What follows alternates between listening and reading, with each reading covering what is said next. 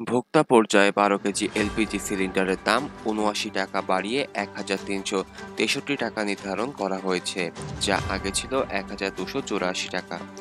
সোমবার টিসিবি ভবনে আয়োজিত এক সংবাদ সম্মেলনে নতুন এ দর ঘোষণা করে বাংলাদেশ এনার্জি রেগুলেটরি কমিশন। নতুন মূল্য আজ সন্ধ্যা থেকে কার্যকর হবে, ঘোষণায় বলা হয়েছে বেসরকারি এলপিজি রিটেইলার পয়েন্ট ভোক্তা পর্যায়ে মূসক সহ মূল্য প্রতি কেজি একশো তেরো টাকা, একষট্টি পয়সা সমন্বয় করা হয়েছে। এছাড়া রেটিকুলেটেড পদ্ধতিতে তরল অবস্থা সরবরাহ করা বেসরকারি এলপিজি ভোক্তা পর্যায়ে মূসক সহ প্রতি কেজি একশো নয় টাকা, উনআশি পয়সা সমন্বয় করা হয়েছে।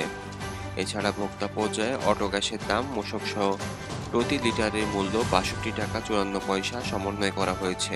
এর আগে সেপ্টেম্বর মাসে ভোক্তা পর্যায়ে বারো কেজি এলপিজি সিলিন্ডারের দাম ছিল এক হাজার একশো চল্লিশ টাকা থেকে একশো চুয়াল্লিশ টাকা বাড়িয়ে এক হাজার দুশো চুরাশি টাকা নির্ধারণ করেছে বিইআরসি।